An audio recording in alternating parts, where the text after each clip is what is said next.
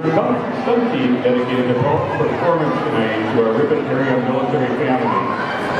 Tonight we have the family of alumni Ben Benton, who is currently serving in Korea. The would like to thank all of those serving and their families for their support for their loved ones. At this time, we would also like to welcome home PFC Ben Benton.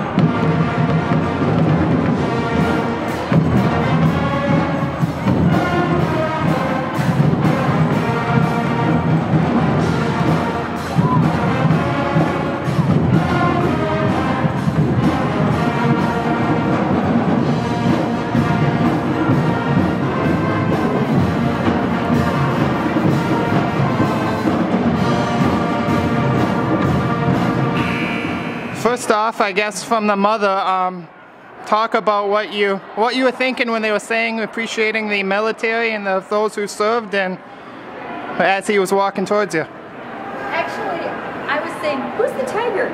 They don't have a tiger on this team. Who's the tiger? And then when they said they said that they were doing the the um, what do they call it? Appreciation. Appreciation for the military and welcome home. As soon as they said welcome home, I started looking. And then and then I saw when I saw the tiger start to move, I'm like, the tiger's back! I started to cry, of course. Um, I, I guess uh, during the routine, I could tell that you were going crazy about Peter's performance and his little his little role. I guess. Um, Peter, talk about your reaction. Well, um, like I said for uh, the, the camera before, prior, uh, I, I kind of already knew, so I wasn't as excited as if it would have been more of a surprise. But um, I was, it's, all in all, it's a, it's a great thing, and I was happy, very happy and excited. How does it feel to be home, Ben? It feels incredible. It doesn't feel real yet though. It hasn't hit me. Like not even on the plane. I figured once I got on the plane and I see the states finally, no, it never hits you. I feel like I'm gonna waste a lot of leave the time that I earned away from the army, thinking that when it's gonna get real, but really it's real now. I don't know. It's just Um, obviously, when you go to the army, you know you leave your fam. You're gonna be leaving your family. Talk about that at that time, and now obviously being home and seeing your family again. when I first left for the army, that would be let's take it back to basic training. I took a lot of things for granted, and I'm just gonna be truthful with it.